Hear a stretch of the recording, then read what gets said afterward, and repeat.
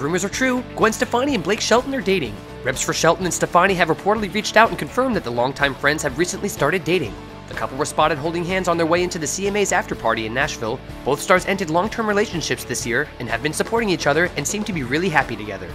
Katy Perry landed the top spot on Forbes' list of highest female earners in music. According to the magazine, Perry earned $135 million, thanks to her tour and her lucrative endorsement deals. The number two spot went to Perry's frenemy, Taylor Swift. Swift reportedly earned $80 million between June of 2014 and June 2015. According to Forbes, Swift's current tour for her album 1989 may give her the early edge for the number one spot next year.